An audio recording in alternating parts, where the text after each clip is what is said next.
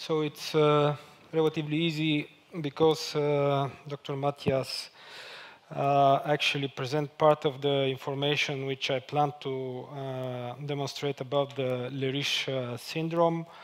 It was uh, and it endovascular treatment. It was described for the first time in uh, 1923 from René Leriche as uh, continuous total occlusion of the infrarenal aorta and uh, iliac arteries. Depending on the length of occlusion, there are three types of uh, occlusion.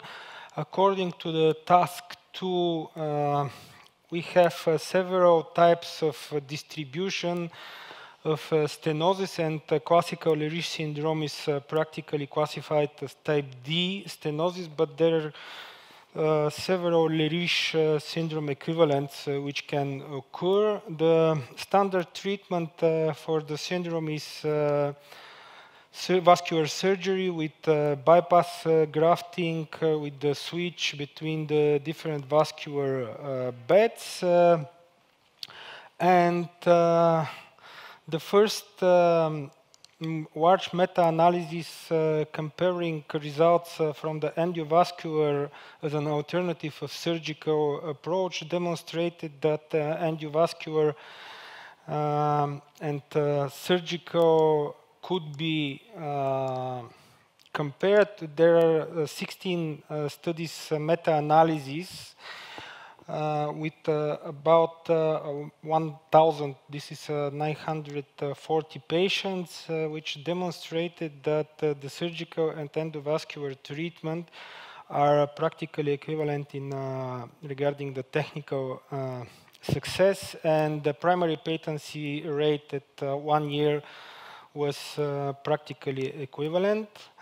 The outcomes um, of uh, endovascular treatment uh, in the uh, CTOs of infrarenal aorta was uh, compared in the, these uh, relatively small studies, but uh, you should keep in mind that the largest study up to now of endovascular treatment encompasses 179 patients. so in this study, the primary and secondary patency rates up to five years was around uh, 60 to 80 uh, percent, and uh, the conclusions were that the midterm patency of endovascular treatment of aortic CTOs uh, was uh, favorable and uh, technical success, however, should be improved because in this study there was 20% of cases were unsuccessfully treated.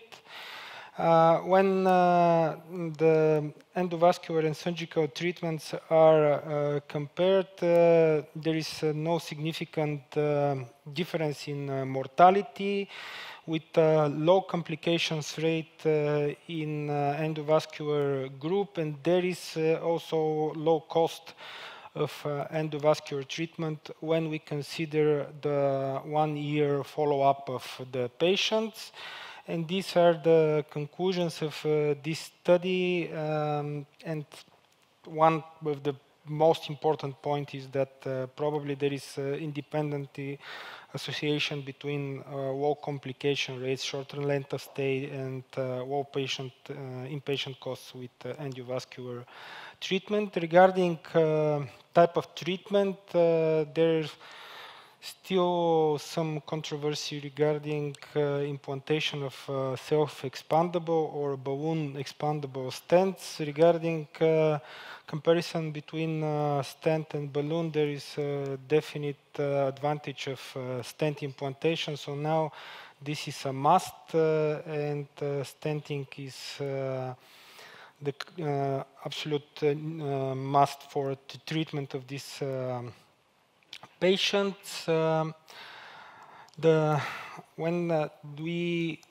uh, compare uh, stenting with the balloon expandable and uh, self-expandable stents, uh, balloon expandable stent demonstrated a better uh, patency at five years. And regarding durability of balloon expandable covered stent and bare metal stents, uh, it was uh, demonstrated in a COBEST study that uh, in type B lesions, aortoiliac lesions. There was no significant difference between uh, treatments, but uh, there was a significant uh, advantage of implantation of covered stent in type C and D aortoiliac occlusive disease. And uh, COBEST, after COBEST, actually, uh, we know now that uh, actually the uh, graft stents um, demonstrate better patency. However, it should be kept in mind that this did not translate in the better uh, rates of uh, major amputation.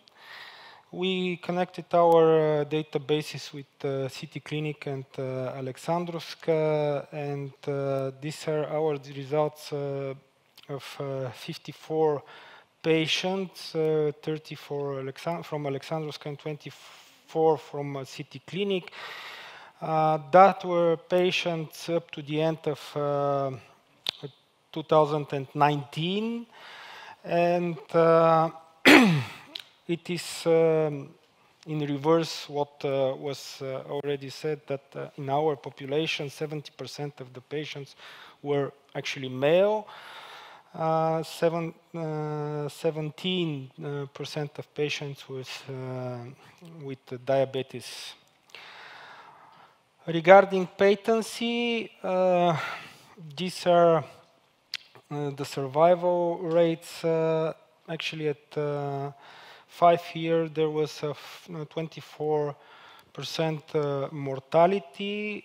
Death or major amputation were EQO between groups with unilateral or bilateral recanalization, uh, and there were no significant uh, difference. It was interesting that the patient who returned for the secondary procedures has a better survival than the patient who were uh, recanalized in uh, one stage. However, that did not uh, transfer into the a significant result despite that the numbers were lower. And uh, I will show you two cases uh, from our institution. The first one was a 52-year-old male with uh, coronary artery disease, arterial hypertension, dyslipidemia, and uh, severe smoker. He had a uh, pain in uh, both legs with a very short uh, distance for his leg, uh, for his age. Actually, his wife uh, come to me and ask me for exam, and uh, this is uh, the result after the diagnostic angio. He has an occlusion of the infrarenal aorta with uh, also up to the levels of uh, just above uh, bifurcation of the iliac arteries. So the, we have three axes, one from the above and two from the femoral. And after recanalization and two stent uh, implantation. That was uh, the final result. The patient has uh, also coronary artery disease on the right and uh, we did not treat it on the first session. Uh, this patient, however, he returned back after five months uh, with returning pain, and uh, there was a restenosis on both stents in the iliac arteries. So we mm, uh, made uh, an additional ballooning on the, this patient, and that was the final result. And at that stage, the, there was a progress in the his stenosis on the right coronary. After that, he stopped smoking, and up to now, uh, he's doing well. This, that was uh, maybe three years ago. The second uh, patient was a 68-year-old male with uh, cardiac dysfunction and uh, severe dyspnea who has um, mm, claudication, uh, the short distance, and the patient had uh, also chest pain at rest. That was the coronary angiography and he had uh, occluded uh, circumflex artery, right coronary artery, LAD, Uh, the patient uh, actually uh, was offered uh, cardiac surgery, but he refused, and during the diagnostic for secondary access uh, for recanalization uh, of the right coronary artery, that was the finding of occlusion of the infrarenal aorta. He was removed from the table, discussed, and then one week later we uh, again put the patient on table, uh, just checked uh, for the collateral circulation, then uh, a sheet was uh, placed from the above, also three axes from the uh, from the right and the left femoral approach. Uh, there was uh, very difficult to define the puncture site, so we used IVUS uh, for guiding, and after um, crossing the occlusion of the aorta with a wire, the wire was externalized uh, from the above. Uh, then we uh, made over this wire again IVUSing, IVUS examination just to be sure about the size of the aorta balloon predilatation, and then we switch uh, to the left uh, just uh, to recanalize the left iliac. It was quite difficult to find uh, the very ostium of um, left iliac artery. So by IVUS guidance again and uh, snaring uh, the snare placement from the left, uh, we crossed the snare with a stato wire. It was uh, externalized uh, and that was the final result uh, for this case. So in conclusion, the cardiovascular treatment of aortoiliac obstructive disease like uh, Leriche syndrome is a good uh, treatment option in experienced hands. The stent implantation uh, with the probably covered stent is obligatory. IVUS could be useful for guiding procedure and uh, close regular surveillance of this patient is uh, also obligatory. Thank you. Thank you, very nice, very nice presentation. Thank you. Any, Thank you. any comments or questions from the audience? Professor Mathias, any comments from your side?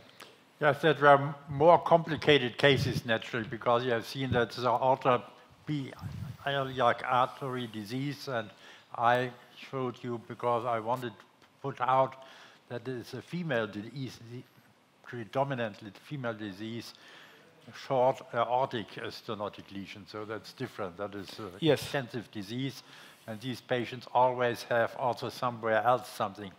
We have shown the coronaries. I have seen also that the vertebral artery was yes. narrowed on the left side, so there, that is a generalized atherosclerotic process. So, and uh, the life expectancy, even when you succeed and have such nice images as you have shown, such good results. Yes. The life expectancy is not really uh, reduced with these patients. Actually, for this diffusely diseased patient, uh, this uh, survival is quite good uh, for this.